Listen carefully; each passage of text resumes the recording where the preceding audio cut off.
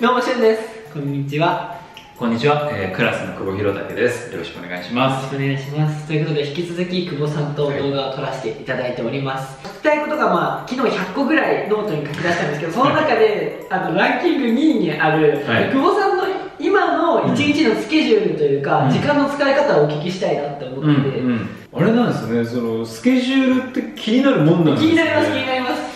えー、なんか何に一番時間をかけているのかっていうと、プライベートみたいなのがあるのかっていうところはいはいはい。どれぐらい寝てるのかなっていう、今はどういったあの生活をされてるんですか？でいうとすごく大きく分けると、はい、うんとアウトプットとインプットと、はい、あとは何ていうのかなこの休息？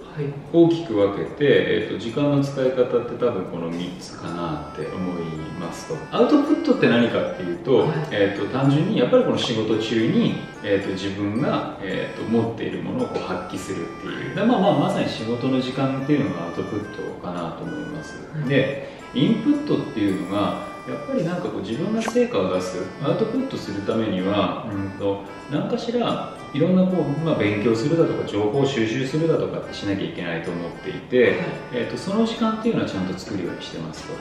い、でやっぱもう一つすごく、えーと、大事にしているのが休息だとか、えーと、休息っていうのは体もそうだし心もそうだし、はいえーと、これの休息時間っていうのは、えーと、きちんと確保するようにしてるんですね。一番心かな経営者である以上が、はい、えーと、常に健全な状態じゃないと全然そのアウトプットできないんですよね。だからこの大きくは3つに時間を割り振っているとい。うところ。でそれで言うと,、えー、とまあまあアウトプット仕事の時間で言うと,、えー、ともうそれこそ大体朝から、えーまあ、まあ夜の、えー、となんなら7時8時ぐらいまで、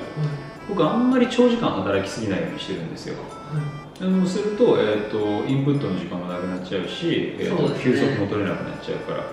7時8時ぐらいにはもう退社というか。もう帰るようにしてます、それから別にじゃあここまでって考えれば、はい、やっぱあのなんかじゃあその中でどう効率的に自分が動くかとかって考えられるはずなんですよ。で逆に言うとなんていうのかな社長もそうだし社員の子たちもなんかめちゃくちゃアホみたいに長時間働かなきゃいけないっていうのは、はい、それは多分会社の仕組みがおかしいのか、えーとまあ、そもそもの、えーと、事業モデルがおかしいのか、えーと、なんかよっぽど非効率な働き方をしてるのかってなんかそそれだけだと思うので、はい、僕は働く時間っていうのは、えーと、結構限定するようにしてます。で、えー、とその後インプットの時間っていうと僕は大体週に5とか6は会食を入れてるんですね、はい、もう毎日じゃないですかそれ。もうほぼ毎日そうそうそう あのやっぱりそういうふうに、えっと、いろんな業界の、えっと、人たちと接する、えっと、時間を作ると、まあ、やっぱりその中から得られる情報っていうのも多いのであのそれはまず大事にしてるっていうところ。で休息っていうところでいくと僕大体週3ぐらいは、えっと、キックボクシング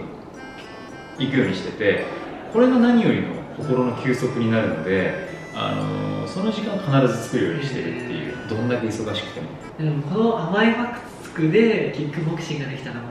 誰でも落とせます、ね、いやあの でも落とせる。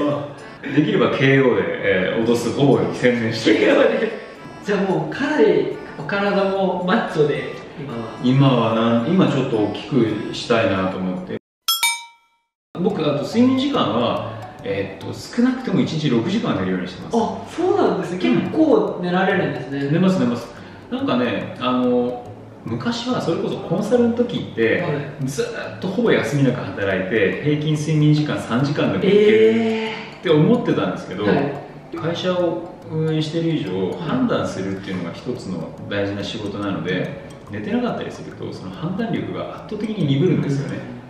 ってなるとあの僕睡眠時間もすごく大事だと思ってます。6時間別になんなら8時間でも寝たいです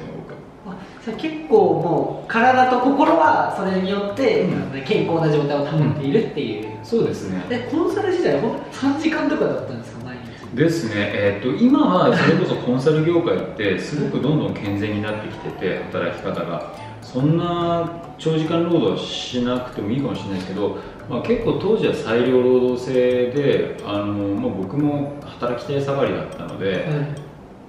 そうですね。もうそんぐらい。ななんだでもコンサルの時って2時3時に家に帰ってきてそこから、えーと、10キロぐらい走ってすげえ。運動してジム行って寝るみたいな生活をしてたんですよ。でもね1000人だ。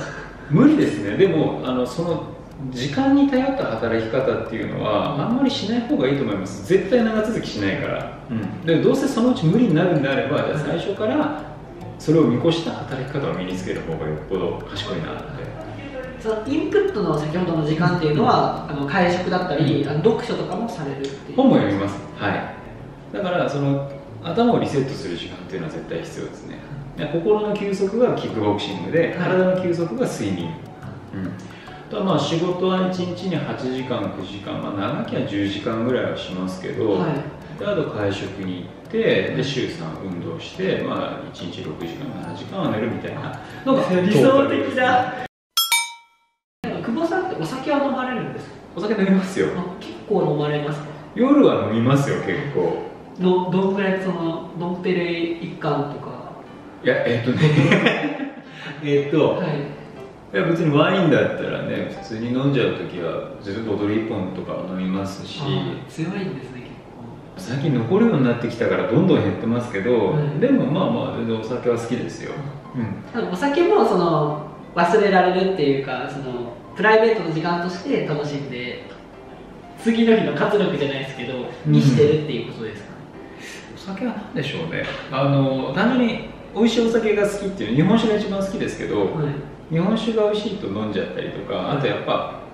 えーと、ご飯食べてた時に一番そのご飯を最大限美味しくするのって、それに合うお酒だったりするのでだからなんかこのご飯を楽しむためにお酒を飲むみたいなところは多いですかね。あじゃあ意外となんかもうバリバリずっと働いてっていうイメージがあったんですけど、うん、そういうわけじゃなくてちゃんと休息もしてそのプライベートの時間もしっかり作ってっていう、うん、理想的な生活ですよねめちゃくちゃ。そうですね。なんかむしゃらに働くっていうのも悪くはないのかな。でもやっぱりどっかで、えーと、破綻するはずです、えーと、いや例えばですよ睡眠時間を削って働く時間を延ばして、えーと、インプットの時間を取ってっていうのでもいいかもしれないですけどそうなると多分どこで破綻するかっていうと多分体で破綻するか、まあ、心で破綻するか。でじゃあインプットの時間を減らすと何で破綻するかっていうとアウトプットがどんどん陳腐化していって、えーと、なんかこう正しい発想ができない正しい判断ができなくなるっていうこのアウトプットの部分で破綻が起きるっていうのがあるので、この3つをちゃんと正しくバランスしてないとどっかで破綻が起きるんじゃないかなって長期的に見て一番理想的な生活がやっぱしっかり休息をとってっていうアウトプットもインプットものバランスを自分の中で見つけるっていうことが一番大事なのかなそうですね。はい久保さんが最後に質問なんですけど久保さんが一番幸せだなって思う時瞬間っていつですかね、うんうん、でもやっぱ圧倒的に仕事なんですよね僕は。あの別にそんなに、えーと、あんま土日とかもいらなくて、うん、あのなんかそのバランスでずっと動けてればずっと働いてるっていうかですね。土日も仕事入ってていいし楽しいことは仕事ですので、えーと、仕事をするときに、えーと、僕自身は、えー、と直接的には働かないっていうことをずっと言い続けてるんですね社員の子たちに、はい、僕がするのって、えーと、大きな絵を描くこと。いやまあまあなんか戦略を作るなんて硬い言い方するとなるけど、はい、あとは、えーと、仲間づくりとその仲間たちが働きやすい仕組み作り。これが大きく3つ僕の仕事だと思っていてこれにはしない。でやっぱ仕事してて一番楽しいなっていう時に、えーと、やっぱ心強い仲間が来てくれて、はい、でその子たちがこうすごく自由に自律的に働いてい。い仕事をしてくれる仕組みが作れてる時、はい、これやっぱ見ててああ楽しいなと思いますね。経営者としてはもう細かいことはあえてやらない方がいいっていうことですね。でも何もしないです。すごい勉強になります。僕結構全部自分でやってしまうタイプなので、ちょっとそれを意識的にやらなきゃいけないなとそうですね。でも自分はもう役立たずだと思った方がいいですよ。もう全然。もうもう絶対言います。僕はもう何もできない役立たずだよって。だからそれはみんなに伝えて自発的に動いてもらうっていう。そうですね。僕自身その動画編集とかも全部今一人でやってるので、うん。うん、外注というかその仲間の人たちにやってもらえるように今やってるんですと今のことを聞いてちょっと生かして頑張ります。はい、はい、ありがとうございました。ありがとうございます。ということで今日の動画終わりです。あの久保さんのあの会社のホームページとあのサービスの新しく出たサービスのとリンクも貼ってあるのでよかったら見てみてください。ということで今日の動画終わりです。チャンネル登録お願いします。じゃあ。なありがとうございます